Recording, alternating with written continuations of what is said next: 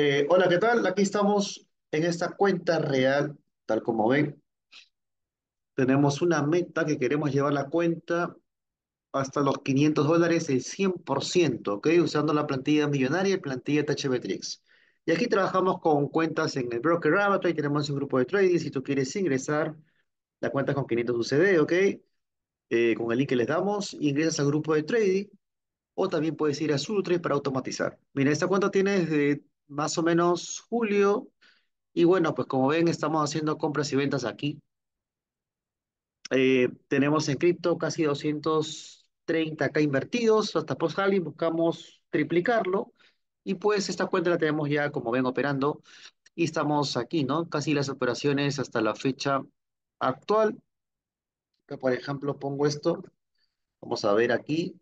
Este es el historial, como ven, de la cuenta, ¿no? Así la tenemos en este momento. Eh, pues estamos buscando sacarle un 100%, como les vengo diciendo, a la cuenta. Así que vamos a ver eh, las expectativas. Hubo mucho movimiento, como ven, en el mercado, ¿ok? También damos indicaciones en los grupos de Telegram, si quieres acá ingresar. Y vamos a ver, pues, eh, el día lunes cómo se dan los movimientos, pero el euro dólar, pues aquí tuvo movimiento muy explosivo. Bueno, explosivo es poco. Fue muy violento, casi las noticias no miran agrícolas, que fueron en contra del dólar, movimiento de subida, de caída.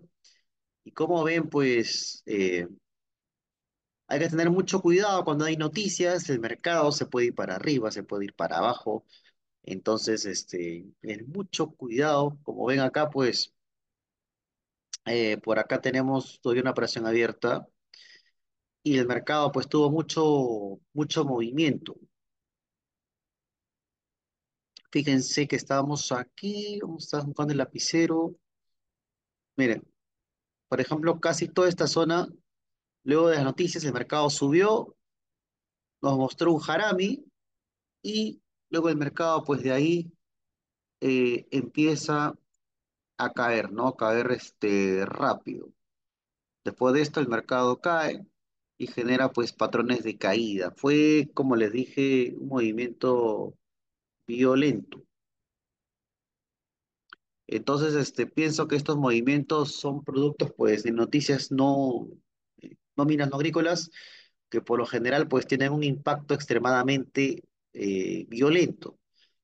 Así que tienes que siempre tener mucho, mucho cuidado a la hora de operar. El mercado se cayó, como en 15 minutos, y luego se mantuvo el rebote del precio.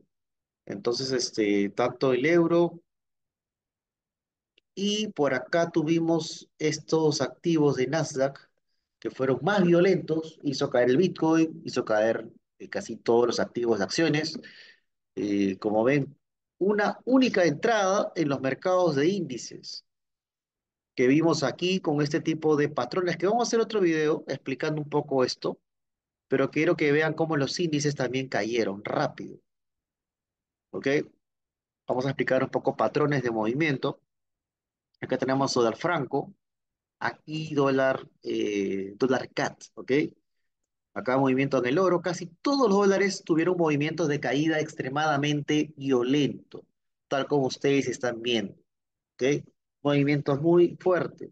Entonces, esta es la proyección, ¿ok? Cualquier pregunta que tengan, tenemos grupos de trading y nos escriben para darles toda la información, ¿ok? En el grupo de Forex Trade, con Avatrade.